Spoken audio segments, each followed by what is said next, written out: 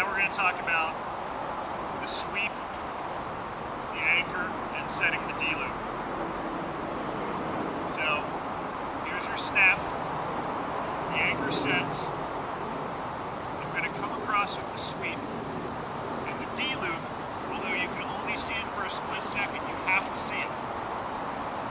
And I'm going to, I'm going to show you right there is the Loop, just for a split second. Rod is the straight part of the D, and the line is the curved part of the D. Can't do this broken up. It has to all sort of happen together, so I'm going to try to talk, talk you through it.